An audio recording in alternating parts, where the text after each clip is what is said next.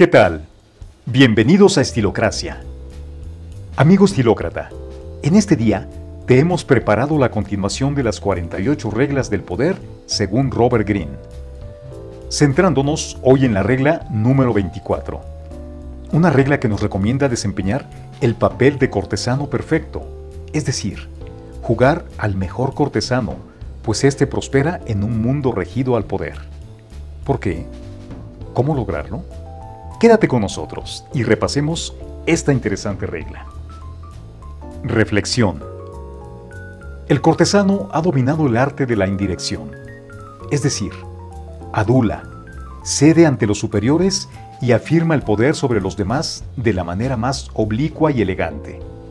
Por ello, aprende y aplica las leyes de la cortesía, y no habrá límite a un cuán lejos puedes llegar en la corte.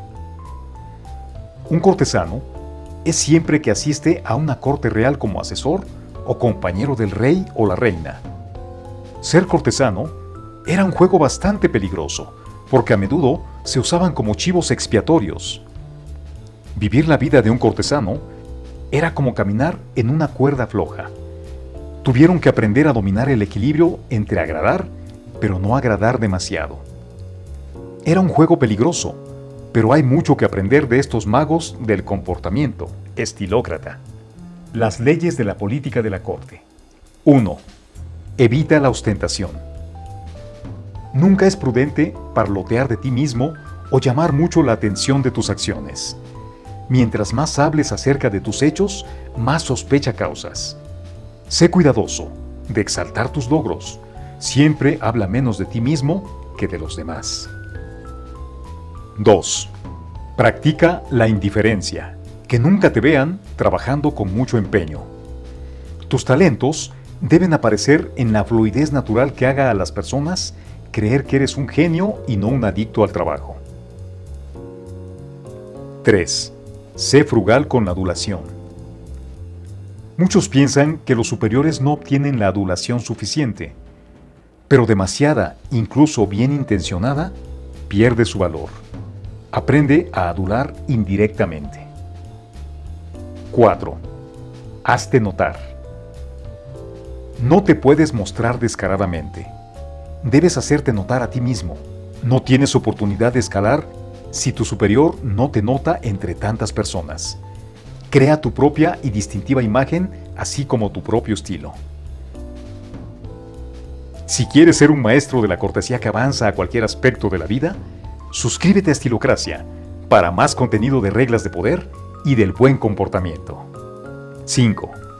Tu estilo y lenguaje acorde a la persona que trates. La pseudocreencia en equidad, la idea de que hablar y actuar de la misma forma con todos sin importar su rango, es errónea. Con ese comportamiento, los que están debajo de ti lo tomarán como una condescendencia y aquellos arriba de ti lo tomarán como una ofensa. Cambiar tu forma de hablar, tu estilo para cada persona no es mentir, es actuar y actuar es todo un arte. 6. Nunca seas portador de malas noticias. Antiguamente, el rey mataba al mensajero que traía las malas noticias. Entonces, tú solo trae las buenas noticias. 7. Nunca critiques directamente a aquellos que están sobre ti. Aprende a suavizar tus consejos y criticismo como una indirecta de la manera más educada posible. ¿Por qué ser un cortesano? Un hombre que conoce el arte de la cortesía es un maestro de la gesticulación, de sus ojos y de su rostro. Es un hombre profundamente impenetrable, pues puede disimular oficios difíciles, como sonreír a sus enemigos, controlar su irritación, disfrazar sus pasiones y creencias. Un cortesano antepone sus sentimientos a sus actos y metas. Un maestro de sí mismo que avanza en el mundo enfermo de poder. Recuerda, estilócrata, en la corte, la honestidad es el juego del tonto. Entonces, jugar al honesto y bien intencionado solo te traerá problemas no solo con tus compañeros, sino también con tu superior, al cual no le interesa tu opinión o crítica.